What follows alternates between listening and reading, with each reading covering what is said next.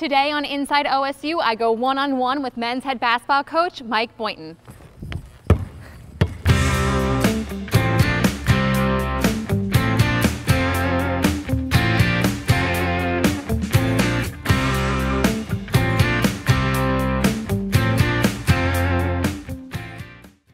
What drew you to the sport of basketball? Wow. Um, so, first of all, I have, I have four sisters. And the first thing that I was actually drawn to was getting out of the house. um, but in New York City and Brooklyn specifically, basketball is everything. And um, I was just like most kids. I was looking for something to do that was fun, uh, that kept me out of trouble. And, and basketball is where uh, I really found friends, um, had a lot of fun, and, and kind of stayed out of, out of harm's way. Uh, baseball was actually my first love, though, and, and it's still my favorite sport. Uh, but basketball was the sport that I found the most success in. What is your favorite basketball memory as either a coach or a player? I have so many good memories. I played the game since I was four years old and uh, played in some really competitive environments. I've traveled a lot of the globe uh, because of the game. Uh, I played in Madison Square Garden as a, as a high school player. Uh, I've been able to go to France. I played in Paris.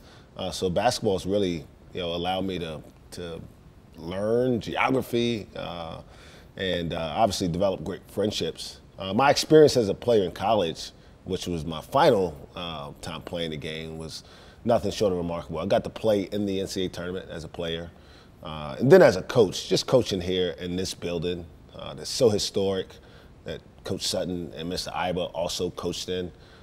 really gives me a lot of pride to say that I'm a part of that legacy. What is the let's work mentality?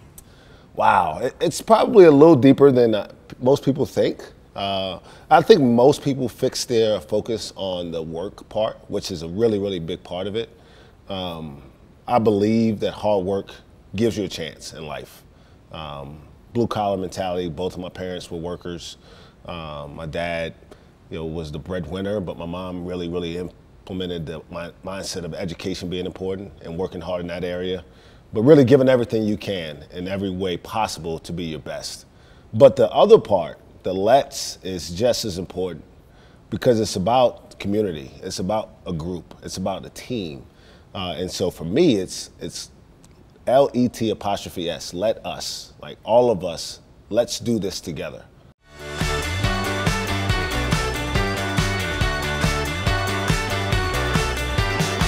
Uh, I feel honored honestly, uh, to be, to have this job that I really don't feel like is a job.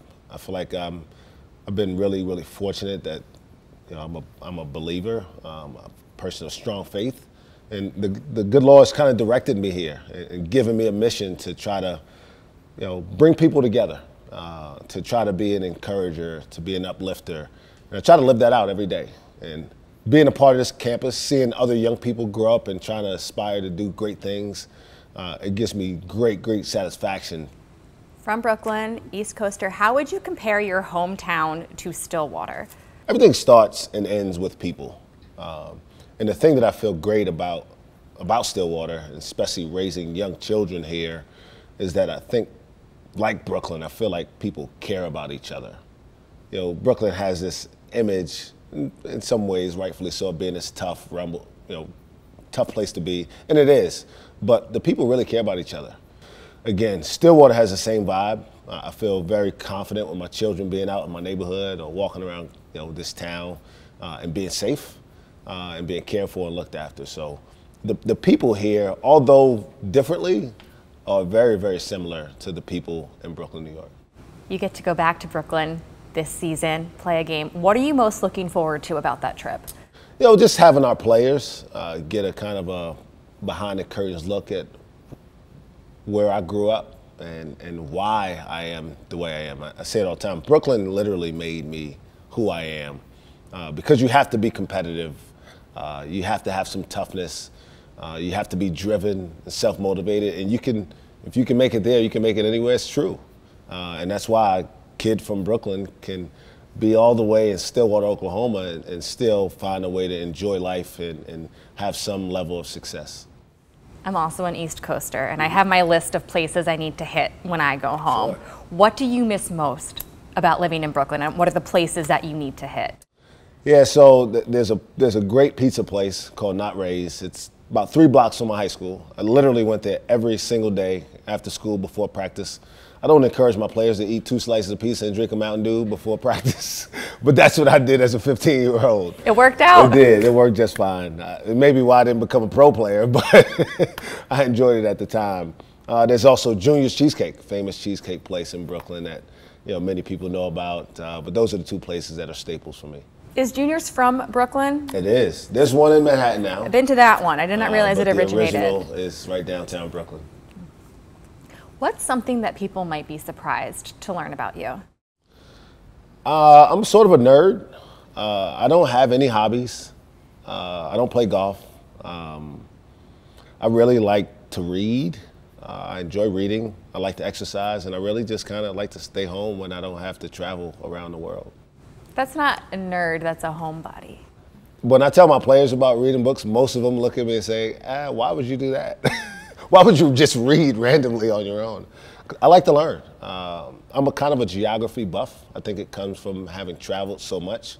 So I'm always asking people where they're from, and I usually have some sort of story, as, as we talked about earlier, right? Immediately, Alessandro, uh, um, steak place, cheese steak place comes to mind uh, when I think about Philly, uh, or if I'm in South Carolina, I think about the mustard-based barbecue.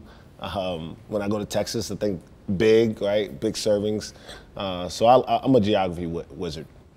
I see a connection between geography and food. Oh yeah, absolutely. I enjoy finding a great place to eat wherever I go. You spoke a lot about your travels. Where's your favorite place you've ever traveled? Wow. Oh man, my favorite place. I've been to so many cool places.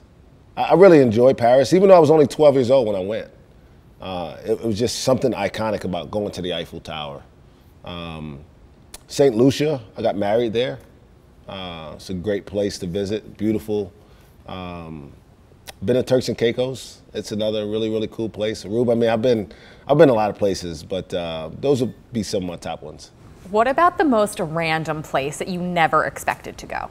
Well, I mean, if you recruit, you go to a lot of random places. You'd be surprised with how many times a really good basketball player comes from a place that you didn't know existed. Um, sort of random, but I never imagined that I would be in Stillwater, living, you know. In fact, I joke with people all the time that I've been here now six years, uh, five as a head coach and one as an assistant. But seven years ago, if you just pulled out a map and tell me to point to Stillwater, I couldn't do it. What's on your bucket list? Bucket list. Wow. I don't really think in, in those terms, but on the spot, obviously I'd like to win a national championship. Um, it's really hard. Very few people have been national championship coaches. It would be a tremendous accomplishment. Um, but the thing I'm motivated by most is seeing the people who I'm a, I've been charged with helping become successful, is watching them become successful. So that's what I wake up every day motivated to do is to pour into these kids and to try to be an example uh, to these young men of what success could look like for them. What's your biggest accomplishment, basketball or otherwise? My biggest accomplishment, I think, in life is that I, I, I made it to a place where I'm doing something I love every single day. And, and very few people get to do that. Like, I, I wake up every single day excited to go do my job. Um, and it's because I get to impact young people's lives. Um, I get great joy in that building, but not during basketball games. I get great joy when I watch the kids that I coach walk across the stage and shake the president's hand as graduates of this university. I know that that gives them a chance in life. Uh, because even the ones that are going to go play professional basketball won't do it as long as they think. And the, the education that they have and the experience that they've had in college will give them a chance to be successful people beyond their playing days.